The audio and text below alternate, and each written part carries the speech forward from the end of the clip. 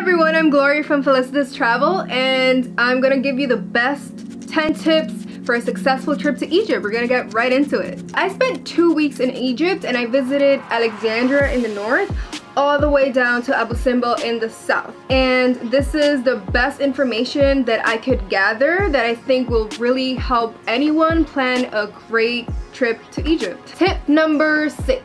Another really important aspect of Egyptian culture is tipping.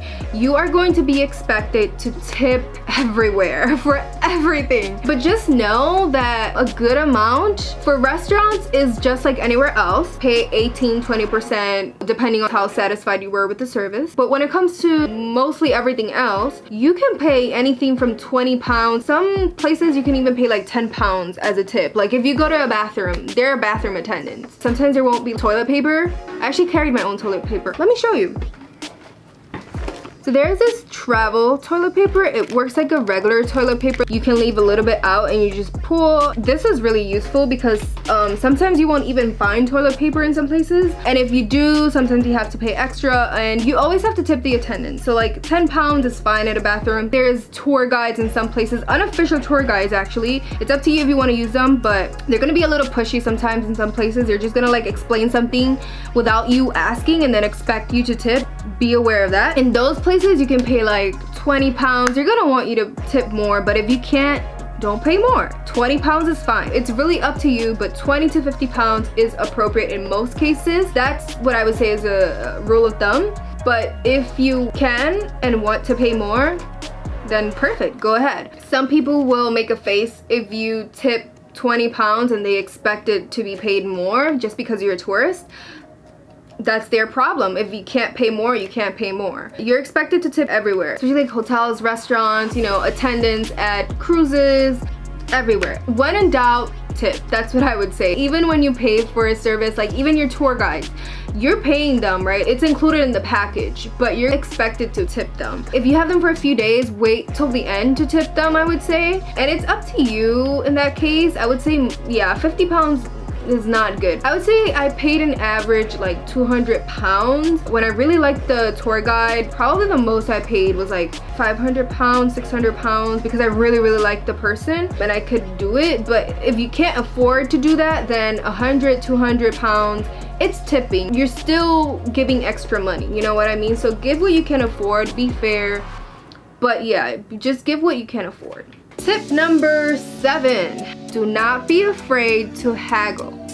Some people might not know what haggling is actually. I mentioned it to a friend and she didn't know what haggling even was. She's also from the United States like me. Let me Google the actual definition. Haggle, to dispute or bargain persistently, especially over the cost of something. I cannot stress this enough. You're gonna have to do it. It's part of the culture even. Most people are not gonna give you a fair price up front. Even tour guides will tell you like, oh, that's not a fair price. You need to bargain. You need to haggle. Actually, I'm gonna tell you something that one of my tour guides explained to me because I, I asked him. I was just genuinely curious. I was like, why do people do this? Why do they inflate prices that way? And he explained that a lot of these vendors a lot of people in Egypt um, have been really affected by corruption in their government. They don't get paid enough to get by. And since Egypt is a country that receives so many tourists they know that a lot of people don't know the actual prices. A lot of us especially if you're from the west we are not used to haggling. We go to a store if this bottle of water says five dollars that's what you pay. You're not gonna go to the counter and be like can I pay you 250 you don't do that here, but you're gonna have to do that in Egypt. Um, trust me. Do some research. I did some of that. Learn the prices of main things that you might need, like food, water,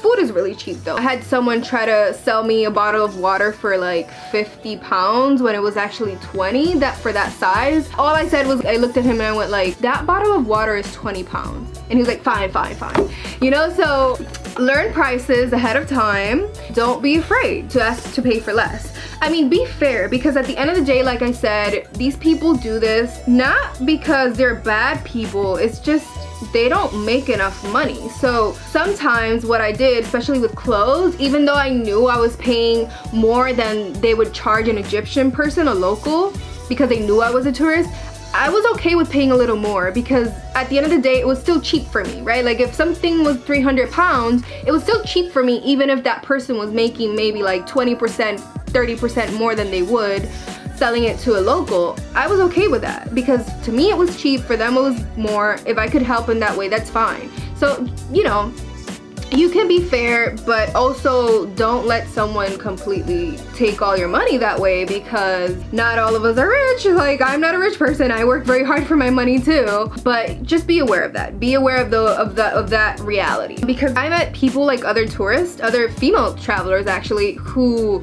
ooh, people really took advantage of them. They had no idea of the prices, they never researched, and they paid so much money for either tours or souvenirs or clothes. There was this one lady that was like, I don't even know what I would have done if I hadn't paid for my ticket back because I am all out of money. And I felt really bad for these women because I get why some Egyptian people are doing that like in the markets and stuff, but at the same time it's like, these weren't rich ladies, these were working class people. So just be informed. Just be informed and be fair. Oh, also another important thing, tour guides are paid a percentage to take you to certain stores. Some will tell you that up front. So if a tour guide takes you to like a jewelry shop and they're like, oh, I'm gonna take you to this jewelry shop. They have the best jewelry. I know the owner. They're gonna give you a good price. Know that they're receiving a percentage. Some will be upfront and honest and tell you that. They'll be like, listen, you don't have to buy anything. I will get a percentage if you do, but it's up to you. Some will do that, but some will not. Some will just be like, oh, this is the best place and actually be a little pushy. Just know that they're gonna receive a percentage and you're not obligated to buy from these places, especially if you don't like the price, if it's um, above your budget.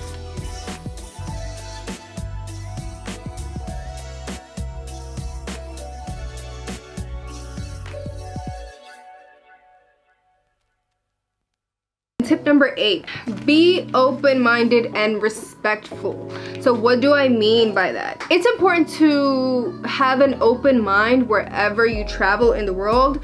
That is just part of traveling because you're going to experience other cultures and you're going to be visiting a country that is not your country. What I mean by that, you are a guest. Just like you visit someone and you're a guest at their home, it's the same concept. It's sad that I have to say this, but I do have to say this because some some people just I don't know. I don't want to say entitled, but that is what it is. Sometimes as Americans, I feel like some of us can be entitled and even if you can't speak Arabic learn a few words learn a few greetings that that goes without saying but you know what I mean. Learn how to say thank you and please and be open to people because even if you can't speak with people, if you can't understand them, you can still communicate. I know it sounds crazy, but it's true. Like I actually had really nice experiences with locals. For example, if you see one of my videos, I'm actually gonna leave the link here somewhere explaining what happened to me at a train station with Arabic ladies that could not speak English and I cannot speak Arabic and yet we were able to like form a brief little friendship. So yeah, be open to people, be open to the new experiences. You know, like I even had one of my tour guides invite me to go celebrate his son's birthday at his house with his family and it was like one of the highlights of my trip. Ask questions, do a little research before going there on the customs. Don't be afraid to ask questions on how to do things appropriately, I guess. And even if you see things that you don't like or agree with, keep it to yourself man like this is a country you're visiting you're not here to to change anything that's the reality of it and speaking about being open ask locals where they eat this is one of the best tips i can give you especially if you're a foodie like me you already know I'm a foodie if you watch my videos. I actually uh, review international snacks. I'm gonna leave a link here somewhere.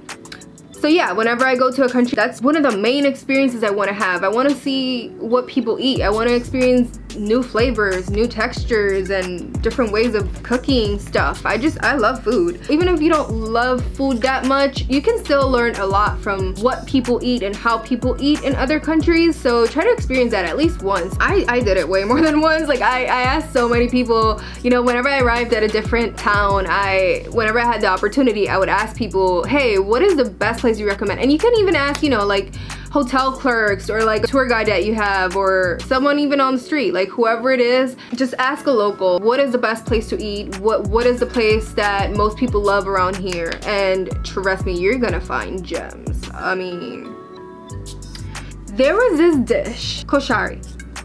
It was one of the best things I've ever tried. It was like comfort food. It was amazing. It, and it was nutritional, by the way. It had pasta, it had lentils, it had spices, it had crunchy onions. Uh, it had tomato sauce. It had everything that is good in this world. The textures were amazing. The flavors were amazing. I, and also, it is ridiculously cheap. Like food in Egypt is very, very, very, very, very, very cheap. If you go to a really fancy restaurant, which I only did really once, I think. I went to one in Cairo right next to the pyramids. Even that, the whole bill couldn't have been more than $35, including tip. It was like 35 to 40, something like that. But that's what you would pay for a simple meal at a restaurant here in New York City. So I'm telling you, man, the food is cheap, and if you're a foodie, you're gonna like Egypt. And my final tip before this, this camera's dying on me. Tip number 10, how to dress for Egypt. Now, this is a very important topic, especially if you like to travel light like me. I only do carry-on when I travel. I do not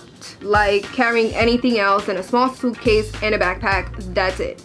So if you're like me, you're gonna want to watch my video where I explain everything that has to do because yes this deserves a whole video everything that you will need to dress in Egypt appropriately for the sun for the heat to look cute as well because I don't know about you, but I like looking fashionable when I travel. I just do. And also in a way that is respectful to their culture because you can't just go there in booty shorts and something like this. You can't. Some people do, but it's just so disrespectful to their culture and to their religion just just don't do it you can still dress cute i'm gonna show you how i actually went with only six outfits and I was able to mix and match for the two weeks I was there. Six outfits was more than enough. I only bought like one dress while I was there and that's it. So if you want to watch my video, uh, you're gonna see the goofiest side of me in that video but it's it's I'm proud of that video. It's very educational. A lot of people have told me that um, it really helped them pack even for other countries that weren't Egypt so you might want to watch that. And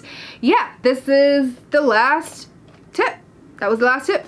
If there's anything else that you might want to ask me you can drop a comment below. Or if you just enjoyed the video and want to comment on that um, you're welcome to. Also, if you want to see any of the pictures that I took in Egypt, I don't know, for inspiration, I'm gonna leave my Instagram handle somewhere around the screen and also on the description box below. If you enjoyed this video, if it was helpful, please subscribe, hit like, share, comment, all of the good stuff, and see you on the next one.